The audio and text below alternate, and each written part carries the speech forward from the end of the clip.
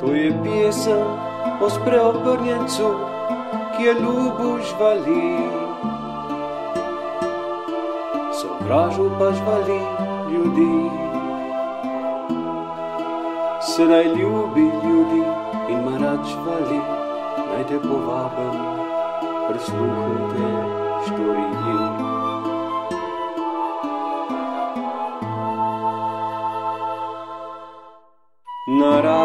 Res sveta mi je, podpisujem prazne peticije in protestiram.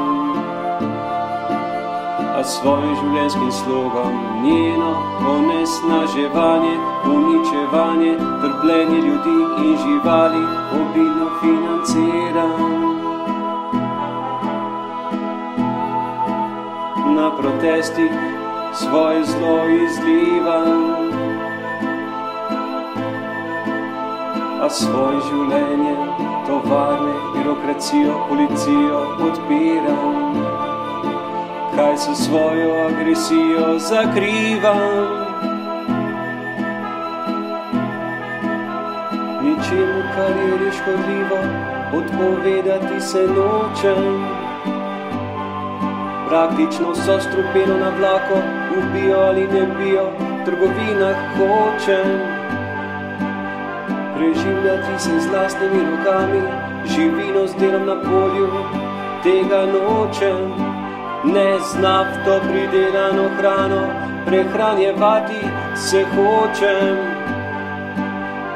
Kakšno moč ima hinavščina in prazna peticija. Na protestih in v spredju pravim nafta, premog, nuklearna energija, trikrat ne. A v življenju in v zadju pravim nafta, premog, nuklearna energija, stokrat da. Naravi in ljudem se res slabo piše, če že njeni zagovorniki so njenega ničevalca, aktivni podporniki. Res slabo, a mi si pojemo.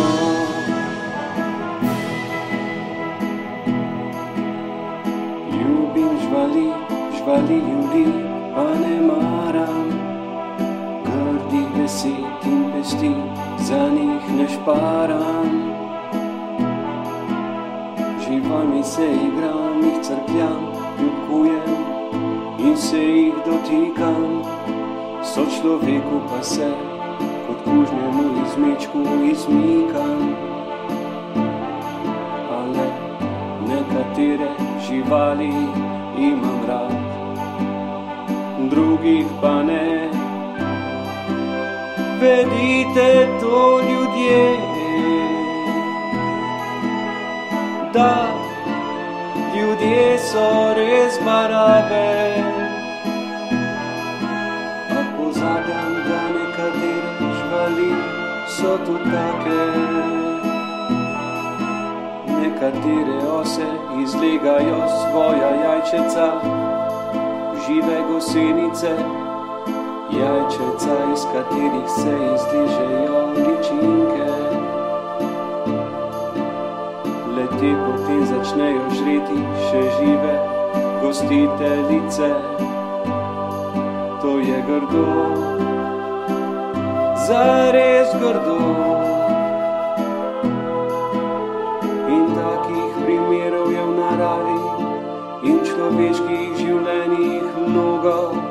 Mnogo premnogo.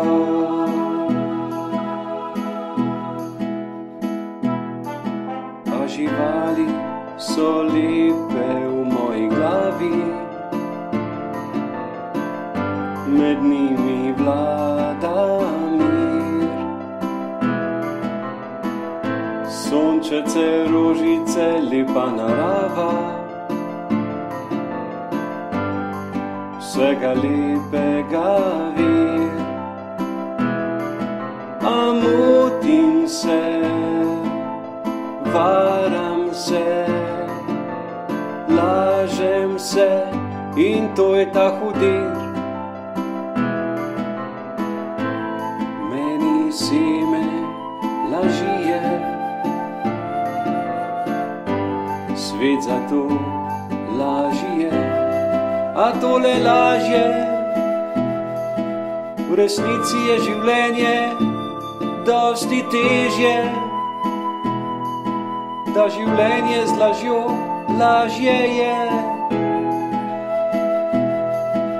Tako se človeku le zdi, dokler brez božje besede živi. Narava pravi ti, živi in umri, umri, ubi, umri. Rešitve ni, božja beseda pa živi, boj se Boga in zljubi ga. Ljubi ljudi, dar večnega življenja prejmi.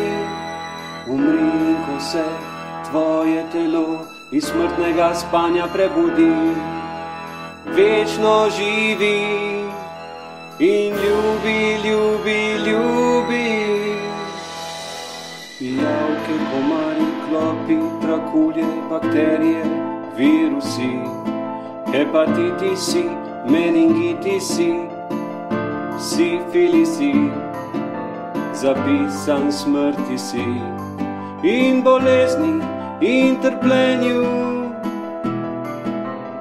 Božji besedi se ozri, on lahko v svet spremeni, rastline, živali in ljudi. On popravil pokvarjeno naravo bo.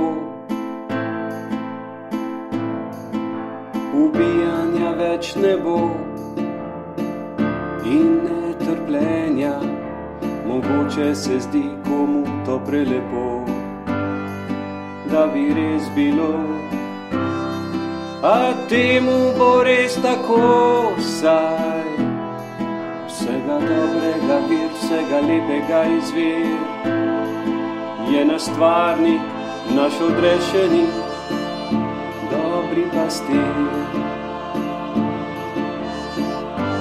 Božja beseda, Jezus Kristus, Alfa in Omega vsega.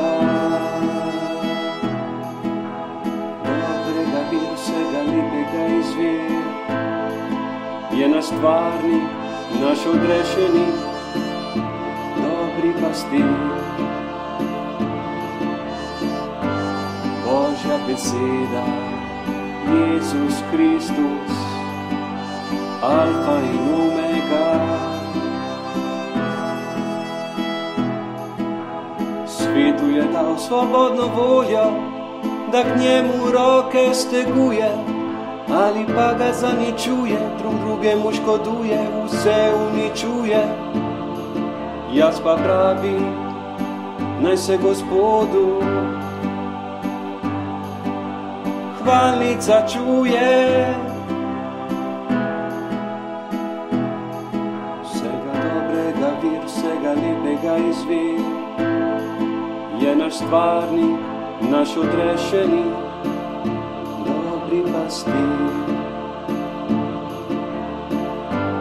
Božja beseda, Jezus Kristus, Alfa in Omega vsega dobrega vira.